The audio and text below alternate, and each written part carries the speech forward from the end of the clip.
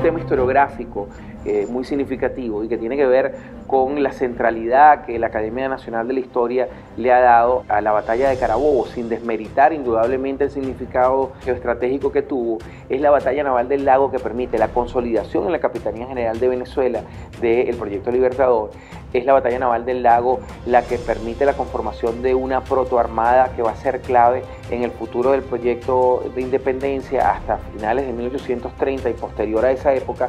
y es la batalla naval del lago la que hace posible que Bolívar se concentre en la campaña del sur, se concentre en la liberación del actual Ecuador, del actual Perú, permite la fundación de Bolivia y haga posible a través de ese control del mar que permite la batalla naval del lago la convocatoria posterior al Congreso Anfictiónico y el establecimiento de un proyecto que aunque fracasado es un proyecto geopolítico de gran impacto y de gran significación. En ese sentido, creo que eh, la celebración del Bicentenario es una deuda histórica con el papel que el pueblo de la provincia de Maracaibo, que el pueblo zuliano tiene en términos de su articulación como pueblo con el proyecto bolivariano. Una cosa es el proyecto de las élites y la acción del Cabildo de Maracaibo en 1810 y otra cosa son las resistencias y las visibilizaciones que en términos de esa resistencia